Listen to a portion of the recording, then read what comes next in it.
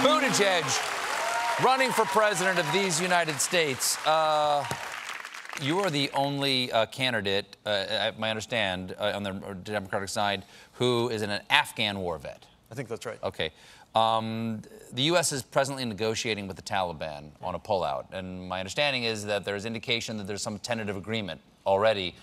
Um, are they trustworthy in your opinion? Can you can you negotiate with the Taliban? And if so, how would you want us to get out? Well, I think the important thing is to make sure that we uh, have a deal that works for our interests that is enforceable. So, do I trust the Taliban in, think, in terms of thinking that they're like a nice or great group of folks? I do not.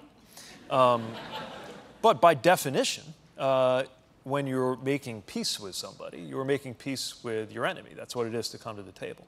To me, the, the, the real problem is that the Afghan government, you know, the legitimately elected Afghan government, has been on the sidelines of this process. And I think they need to be very much in the middle of it. But at the end of the day, we've got to leave.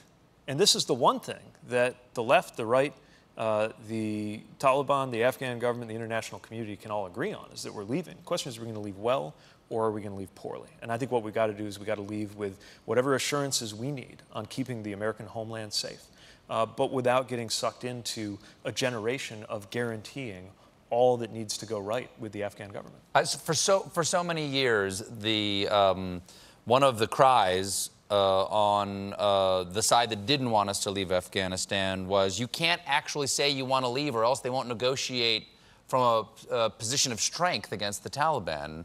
Do you think it's a mistake to say ahead of time that we want to leave? Well, definitely if we, for example, allow it to be uh, decided by the American political calendar. And I'm a little worried that that's what's happening with the current administration. Uh, but again, I think the understanding is we've got to go. We do have leverage based on the timing and the manner of our departure, as well as the fact that we're going to have some kind of special operations or intelligence capability no matter what. That's part of the leverage that helps us get a political settlement, but we have to get the political settlement. We have to leave. It is September of 2019. That means you could be 18. You could be old enough to enlist a couple weeks from now and have not been alive on 9 11. It won't be that long before we get news of a casualty in Afghanistan, American, who is not alive on 9 11 unless we do something different. Mr. Mayor, thank you so much for being here. Good luck next Thursday. Please make something dramatic happen. Mayor Pete Buttigieg, everybody. We'll be right back with Graham Norton.